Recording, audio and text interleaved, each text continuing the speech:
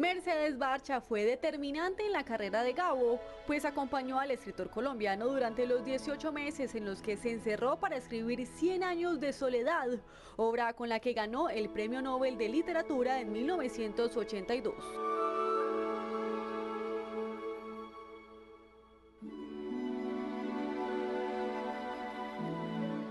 Tenía 13 años cuando conoció a Gabriel García Márquez, con quien compartió más de medio siglo y tuvo dos hijos. Ella fue la compañera permanente del escritor colombiano, pues estuvieron unidos hasta su muerte en 2014.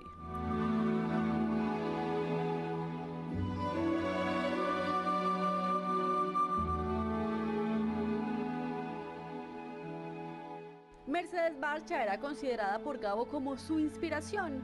Sus restos serán trasladados a Cartagena en el claustro La Merced para que reposen junto al Nobel de Literatura.